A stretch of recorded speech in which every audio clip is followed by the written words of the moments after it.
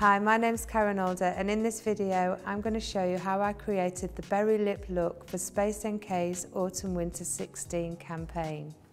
Seductive and eye-catching, a berry lip is perfect for autumn. As Amisha's skin is sometimes dry, I started by using Nude Skincare's Detox Enzyme Exfoliating Powder to gently polish away any dry patches so foundation can sit more smoothly on top. Since the focus for this look was lips, I kept the face nice and innocent. Temptu's innovative at-home airbrush makeup tool gives a flawless yet fresh-faced finish. I applied from the centre of the face outwards, moving in small circles. You can also use this airbrush on your neck and body if you have any hyperpigmentation or blotchiness there. Next, I made sure the bold lip wouldn't budge with Lipstick Queen's Invisible Lip Liner. This versatile use with any shade liner creates a smoother base while ensuring lipstick doesn't migrate. This product's a big favourite of mine. It not only stops lipstick feathering, it also subtly highlights and frames the lips at the same time. I then defined Amisha's brows with Laura Mercier's new Brow Dimension Gel.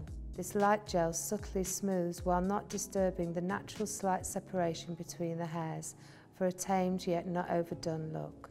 Moving on to the lips, I applied NARS Velvet Matte Lip Pencil in Dragon Girl, simply drawing around the outline of Amisha's lips, then filling in the centre. The texture of this lip pencil is beautiful. It glides on but is really long lasting. To add instant intrigue to the look, I then slicked on one coat of Lipstick Queen's new and exclusive Black Lace Rabbit over the top. This sheer black shade deepens and intensifies any lip colour, transforming it into a smokier, more sensual version of the original.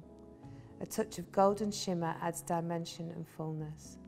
Black Lace Rabbit is my ultimate day to night lip product. You might have already been wearing a classic red lip at work, one slip of this will make it seductive and slightly vampy.